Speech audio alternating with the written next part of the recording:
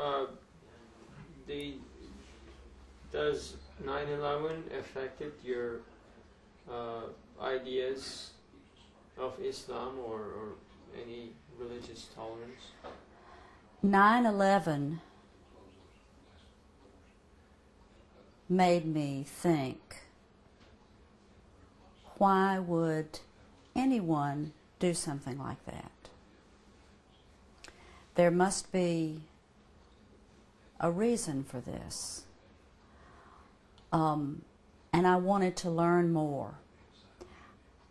I knew that many people decided that the Muslim world was to blame for this. But I had already met um, a few people who were Muslims, and I didn't find them to be the kind of people who would commit such a terrible act. So I wanted to learn more.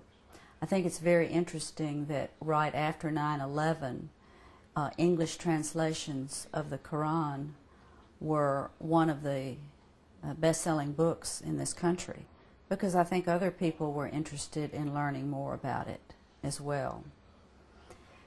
I have since learned that um, terrorism in any form is against Islam, as it is against Christianity, for that matter. But we certainly know that through the ages, uh, terrible, aggressive, and um, uh, violent acts have been committed in the name of all, all religions, Christianity included. So I think uh, we must be very careful not to judge criminal activities uh, as being caused by any true religions. They should be considered criminal activities, and the perpetrators uh, should should be treated as criminals. Um, I think terrorism is a worldwide problem, and all religions uh, have terrorism. We have we have terrorism sometimes in the schools in this country. I've often thought of the uh, Ku Klux Klan as a terrorist organization, and they committed many of their terrible acts in the name of Christianity, and that is just as wrong as what happened on 9 11.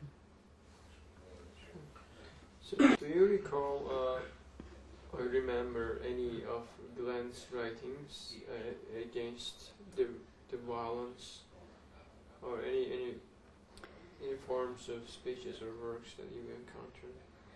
I recall that uh, Mr. Gulen sent a protest to the Washington Post within a few days after the 9 11 attacks, um, denouncing it as an anti Muslim act and denouncing it as an anti human act. Uh, I'm not sure that any of the other papers picked it up and, and printed the article, uh, but I, I believe the Washington Post was one of the first to, to print his protest against that form of terrorism. Uh, what do you think about the interfaith dialogue efforts of uh, this group of people, which we can recall as the Gulen movement, uh, the, the people who are inspired by Gulen?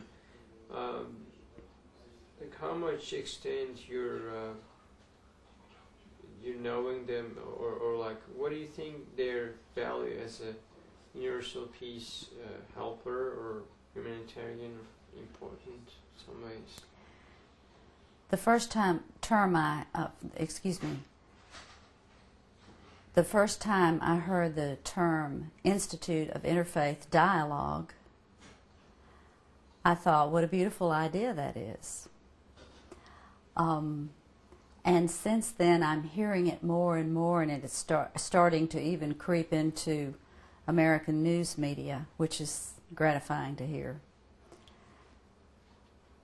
Interfaith dialogue is something that I became a bit familiar with in my own church because there are a number of people in my church, myself included, people in my Sunday school class, who have been very interested in exploring other faiths and trying to understand more about them and trying to find our similarities. Um, it's a beautiful idea. Uh, some people may think it's a utopian idea, but the more I learn about it and the more I hear from people who also believe in it, the more I'm thinking that it's possible. We can really achieve better understanding by just talking to each other. Because when you talk to someone face to face, then you get to know them as a person and you relate to them as a human being. And it's very difficult to hate someone that you get to know personally.